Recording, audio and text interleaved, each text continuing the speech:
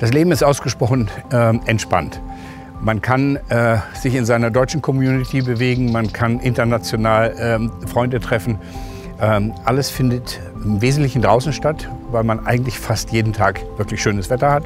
Selbst wenn es mal regnet, sind es eigentlich nur Stunden. Und damit ist eben das Leben sehr geprägt von Strandaktivitäten, Wandern in den Bergen, mit Freunden in einem Straßencafé sitzen. Alles findet draußen statt äh, und das ist ausgesprochen angenehm. Ähm, es ist, die Insel ist sehr sicher. Man kann sich auch als Frau alleine nachts durch Palma bewegen. Und von daher hat man eigentlich nichts, was störend wirkt. Alles ist entspannt und schön.